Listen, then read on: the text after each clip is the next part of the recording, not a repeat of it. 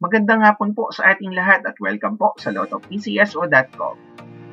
Bago po tayo magsimula, huwag po natin kalimutan na i-click ang subscribe button at ang notification bell para lagi tayong maging updated sa mga lotto results araw-araw.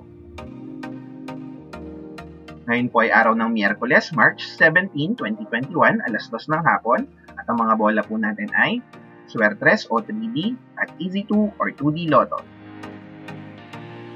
Para po sa 2D Lotto, result ngayong 2pm, ang mga numero po natin ay 27 and another 27 in exact order.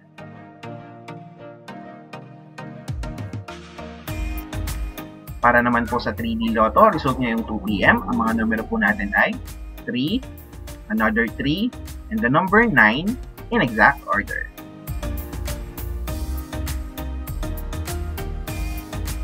Para naman po mamayang gabi, 9pm, March 17, ang mga bola po natin ay Grand Lotto 6055 na may estimated jackpot price na 264 million o higit pa. Mega Lotto 645 na may estimated jackpot price na 62 million o higit pa. 4D Lotto, 3D Lotto at 2D Lotto. Kahit huwag pong kalimutan bumili ng mga tickets.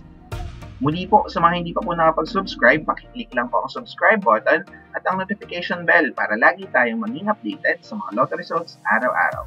Maraming salamat po and congratulations to all our winners.